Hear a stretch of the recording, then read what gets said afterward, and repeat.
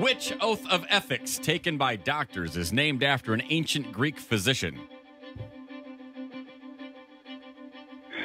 Pass. What is the largest desert in the world? Sahara. Who wrote the memoir, I Know Why the Caged Bird Sings?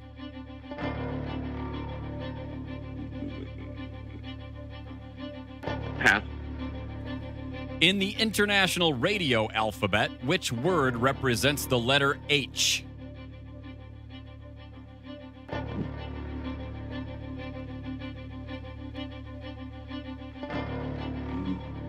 Pass on that one. What is the name of the Spanish soup that is served cold?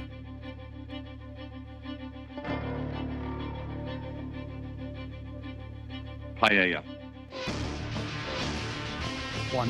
Which oath of ethics taken by doctors is named after an ancient Greek physician?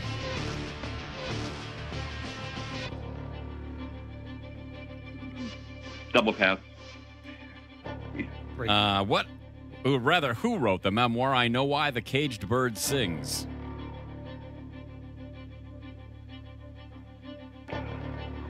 No, pass. In the international radio alphabet, which word represents the letter H?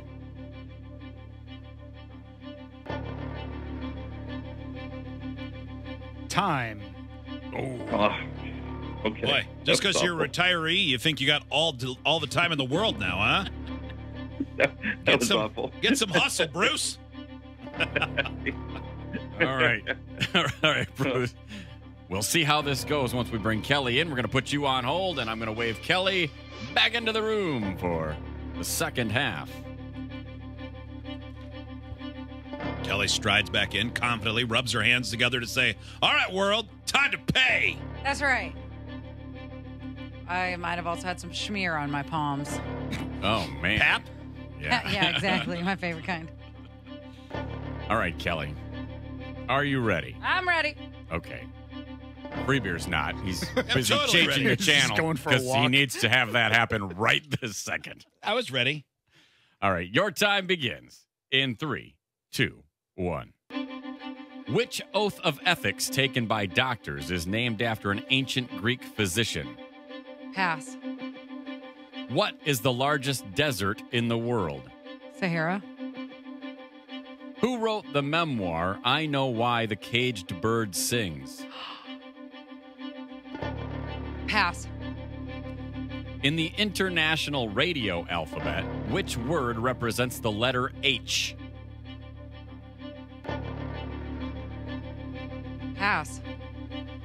What is the span- uh, what is the name of the Spanish soup that is served cold? Oh, um, oh God. I know all of these and I can't think of any of them. Um, oh God. Double pass. I'm not going to get that one. Which oath of ethics taken by doctors is named after an ancient Greek physician? Uh, double pass. I don't know that either. Who wrote the memoir, I Know Why the Caged Bird Sings? MLK Jr. Not right. In the international radio alphabet, which word represents the letter H? Which word represents the letter H? Yes. Uh, signal. Time. Interesting choice on that one. I have no idea. like, what are those questions? I have no idea. Oftentimes, I th- I think. I mean, I don't I don't know the official, okay. but usually the word starts with the letter. Like Alpha starts with an A, Bravo starts with a B, Charlie. Charlie starts with a C. Delta. We'll get to that. We'll get to Sure. that. It might But be. signal it might might be right. signal. Is the H silent on signal? I don't Uh-huh. know. Letter H. All right, now we have a real battle ahead of us here. a real knowledge battle has happened between Bruce and Kelly. So let us score this barn burner. Which oath of ethics taken by doctors is named after an ancient Greek physician? Bruce said pass after taking a long time, then came back, took a lot more time, and then eventually passed again. Kelly double passed as well. The answer is the Hippocratic Oath. Yeah. Never gotten that. Hippa. HIPAA laws. Uh-huh. Hippocratic. Uh, question number two. What is the largest desert in the world? Bruce said Sahara. Kelly said Sahara. A big desert for sure, but the biggest desert is Antarctica. Oh, that's right. Oh man. Man. God, we just heard that too, like a few months ago, and I thought to myself, oh yeah, Never forget that one. never forget that now that I know it. Tied at zero as we go to question number three, which I thought Kelly would have a very, very good chance at getting because she is such a prolific reader. Could not think of this. Who wrote the life. memoir, I Know Why the Caged Bird Sings? Bruce passed, it came back around, he passed once again. Kelly also passed, it came back around, and she said Martin Luther Yeah, King Jr. Pretty sure it's a female author. It is. Yeah. And that author is Maya Angelou. That's it. That's it. Tied at zero. Question number four. In the international radio alphabet, which word represents the letter H? Bruce passed. You know what? Let's come back to this one. Let's go to question five. What is the name of the Spanish soup which is served cold? Now, Bruce said paella. No, that's not right. It's not right. But also, neither is double pass. I know. The answer is gazpacho. I kept thinking garbanzo, and I was like, "Don't say it; you'll sound stupid." Tied at zero. And then I answered this one. We're gonna come back to perfect. Okay. Awesome. Now, in the international radio alphabet, which word represents the letter H? Now, one of the worst answers in the world that I've ever heard is a word that starts with the letter S. Signal.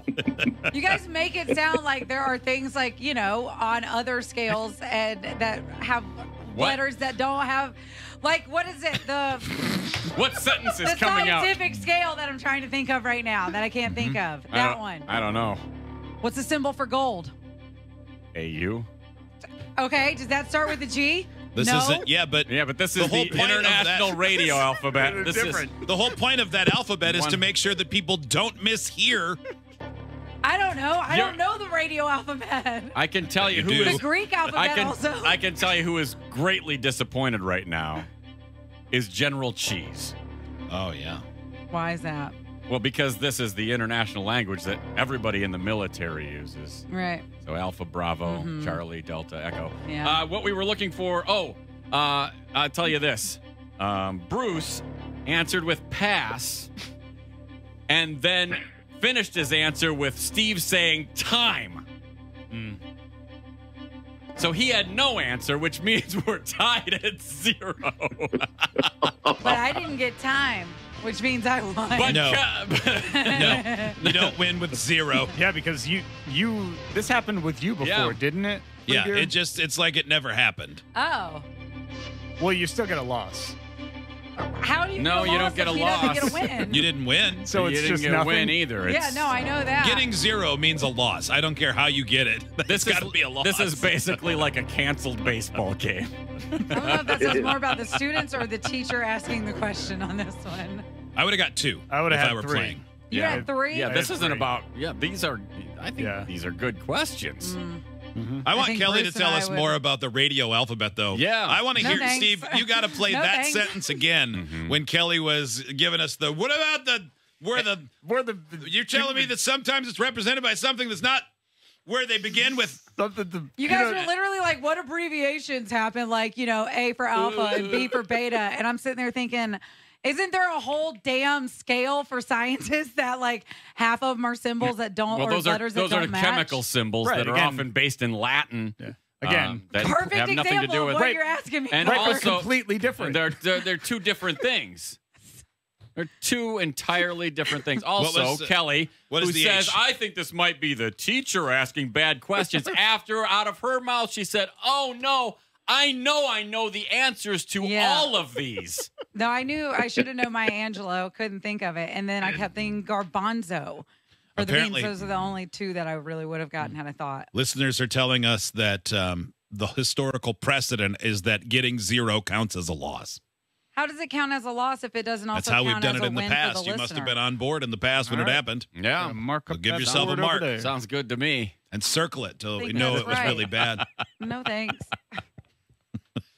What was H? Hotel? Hotel. All right, Bruce. Oh, I thought it was. You'll never forget that you Hotel. didn't lose nor win, so you lost. You lost more. That was you a did real, it. like you said, that was a real bond burner.